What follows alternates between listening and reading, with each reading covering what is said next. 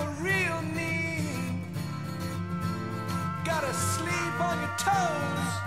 And when you're on the street, you got to be able to pick out the easy meat with your eyes closed. Then moving in silently downwind and out of sight. You got to strike when the moment is right without thinking.